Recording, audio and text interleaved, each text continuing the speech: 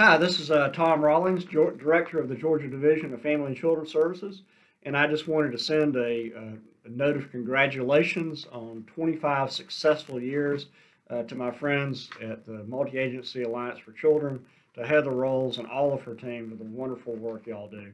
Uh, over the years, I've had the chance to uh, see how MAAC has really helped young people who who are youth in the foster system, both as well as those who have have uh, experienced foster care, have you have really empowered them, have made sure that their voice is heard in what in, in the work that we do, uh, make sure that their voices are heard as we try to improve the system.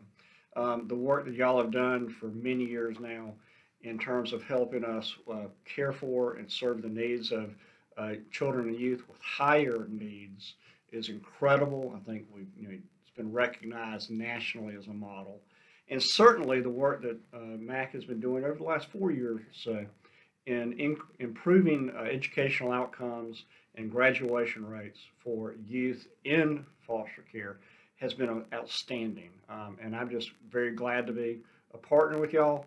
Very glad to uh, certainly um, see the great work that y'all are doing. I'm very proud of it and very thankful for all of y'all.